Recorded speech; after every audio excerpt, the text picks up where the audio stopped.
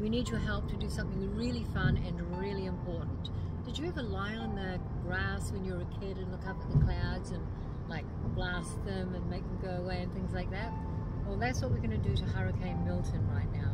We've seen the, uh, the big cloud, how it looks. We're going to imagine that cloud dispersing and moving out and we're going to caress the winds and the waters into a mighty gentleness and disperse all of the heat and the fury of the storm.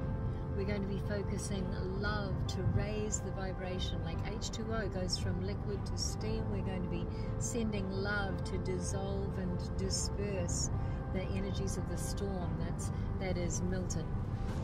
So please, please join us. We're going to be doing that now in the Tesla Coil Sanctuary uh, that belongs to Dr. Chris. We're going to be joining our little pod of people who come together to save the world and it would be wonderful to have you in that pod.